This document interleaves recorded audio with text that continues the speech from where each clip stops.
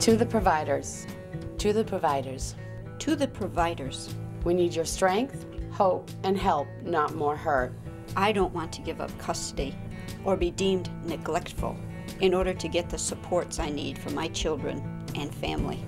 I've had enough threats and felt enough scorn. I need your encouragement and understanding instead. This is not about you or me. This is about what is best for my child.